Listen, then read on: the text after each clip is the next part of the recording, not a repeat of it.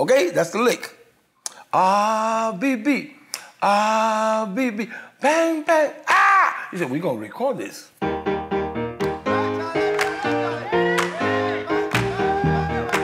There was something wonderful about being on the dance floor and everybody's doing beep, ah. You groove with it, man. You went from side to side. So it's kind of like a funky guajira. And I was fascinated by that. I said, whoa, yeah.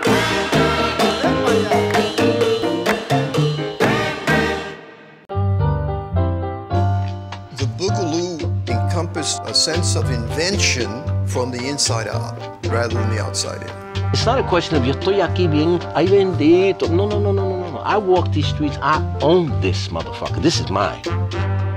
The younger generation adapted it as their own music. They wasn't gonna go backwards. They liked what they were hearing in the streets, and the boogaloo was there. The music was loud, but just like rock, it's about saying kind of like F you, man.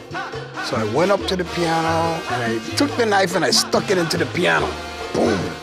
And I said, you know what? I'm the leader of this band. And that's how we did things back then, you know? We took control. We took matters into our own hands, and the music was part of that. Boogaloo hit so hard that the status quo was terrified of it. The powers that be basically conspired to squash that movement. The purists took over. And they brought back the typical Latin sound, and they kept it that way. They died a horrible death. Good music will always be good music.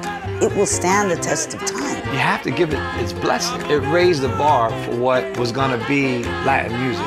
Latin Boogaloo, a rhythmic mix born in Spanish Harlem, and now this music is making a comeback, big time. They feel it in London. They feel it in Australia. They feel it in Japan. Once you start feeling those polyrhythms, you start bugging out like, yow. At this point in my life, I don't think Boogaloo will ever die.